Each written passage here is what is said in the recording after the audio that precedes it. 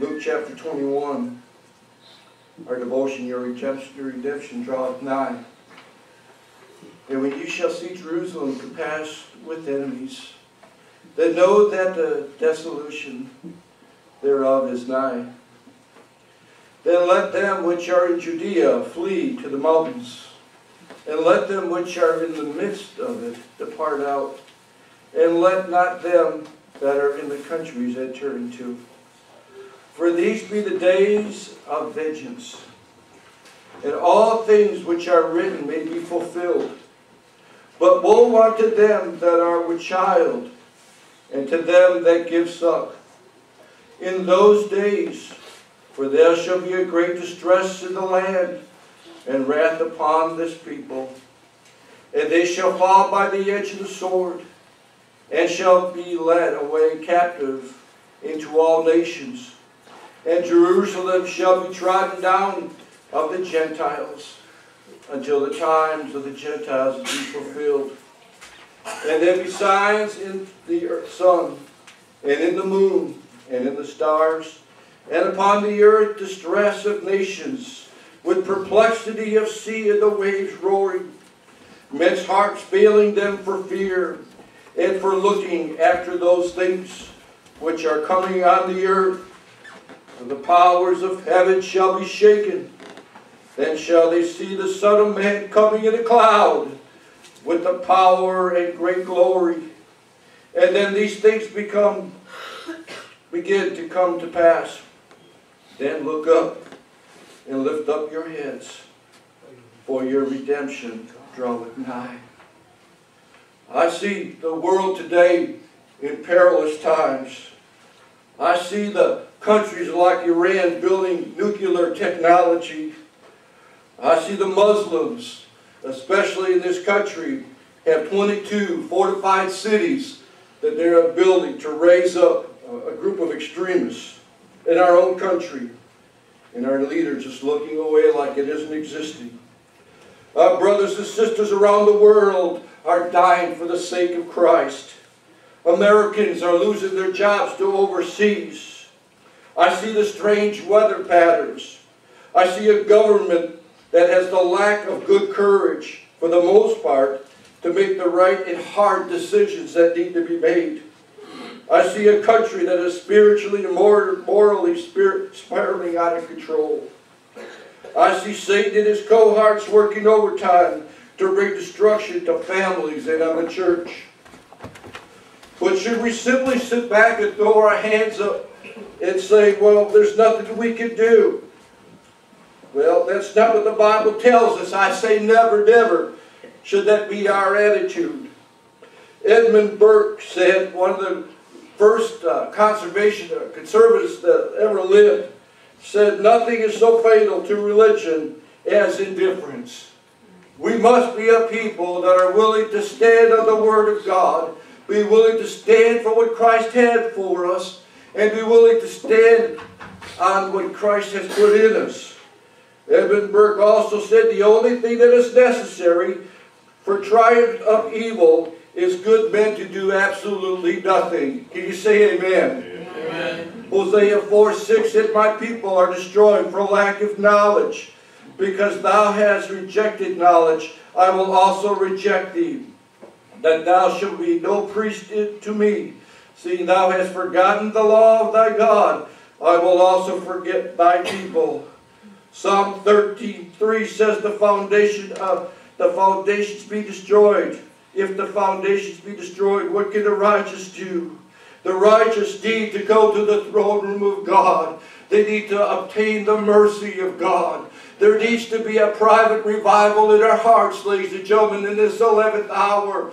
We can no longer play church, but we need to be the church. We cannot talk about the things of God. We need to be the things of God. Amen. We need to be salt and light into this dying, lost world that so desperately needs Christ. We can't sit there no more with indifference and see the world going to hell in a handbasket and do absolutely nothing about it.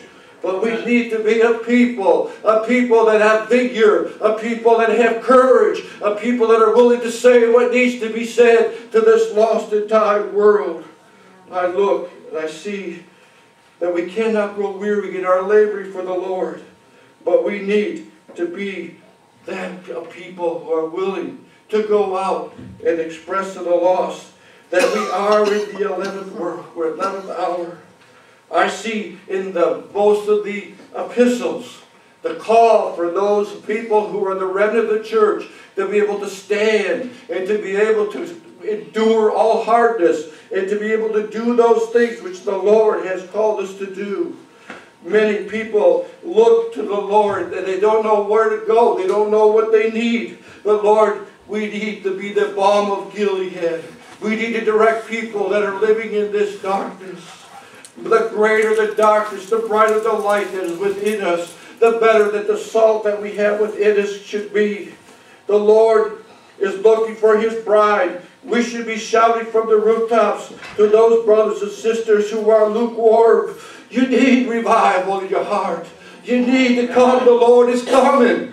We no longer can sit back.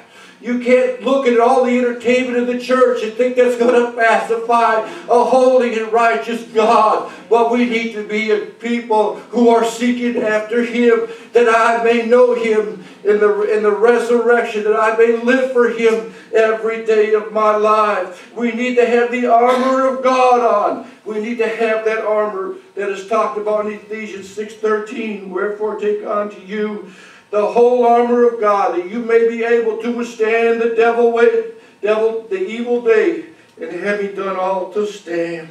We need to stand firm. We need to stand on this word of God. We can't retreat back. We're in a time where we can't afford to do such things, but we need to go forward. We need to stand on what the Word of God says. We need to stand on the faith, and we need to know that the Holy Spirit of God is living within us. Amen. We need to have our eyes focused on Christ by doing the things that we are called to do. When Christ comes, will you have your lamps filled and your wicks trimmed? Or will you be the five foolish virgins who are asleep when the Lord returns? Jesus said, when he returns, will he find faith on the earth? God will always have the remnant who will be in step with him, in him, and about his business. Are we going to be that church?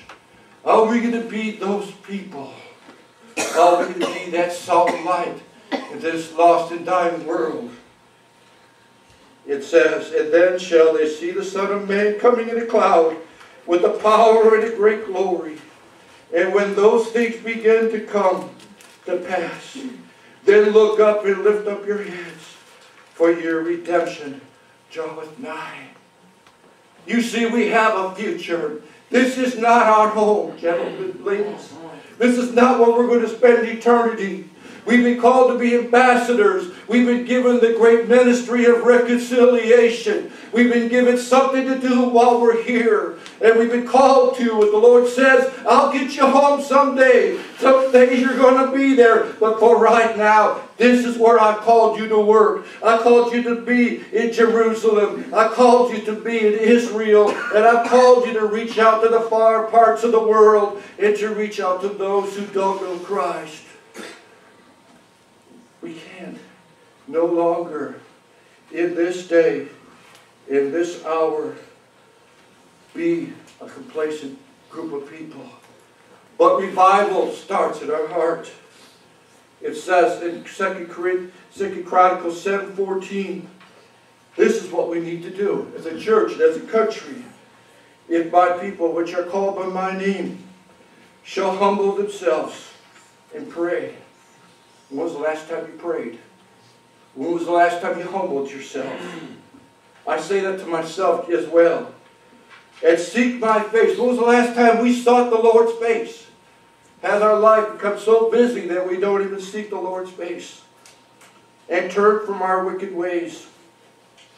Then I will hear from heaven, and I will forgive their sin, and will heal their land. It starts in the church house ladies and gentlemen. It starts here. And it starts with us, the remnant of God, those that know Him. And it carries out from there into societies. I've read about every great revival that has broken out in the world. And everyone started in the church, in the hearts of the people, and then spread out into the communities wherever that revival was. And the nightclubs were empty. The police station jails were empty. People were in the church house. They weren't no longer doing their own thing, but they were right in the church to hear the Word of God, to get right with Him. Can this happen in 2012? I pray it does. Let's pray. Heavenly Father, we come before you this morning. We thank you for the promise that Christ is returning. He is our Redeemer and He will come in the clouds. We're thankful for that time, oh God, when Jesus will come. We ask you, Lord, this morning to start revival in our hearts, to help us to be the people that you've called us to be, to be where you want us to be, the center of your will. Oh Lord, it's the 11th hour. The bars are full of people that wants to congregate, but your church house is empty. This world is falling out of a spiritual and moral decay unlike I've ever seen before. And the church is silent. Lord, I pray you waken the dead church. I pray that you waken up brothers and sisters that are in lukewarm churches. And I pray that the Word of God will again prick the hearts of man, that the fire that's in the belly would again do the work that only it can do. I pray that we confess what needs to be confessed, do what we need to do. And I pray, Holy Father, you heal our land. I pray, Lord God, that you started here in this church house. I pray you started in my own heart. And I pray, Lord God, that you would do a work that only you could do. And I pray that you help us to be that salt and light. I pray you help us to be that balm of Gilead. I pray you help us to be a people unlike any other people. That when people see us, they see Christ. That they see something different about us. I pray that we not only know you, but that we become in your character.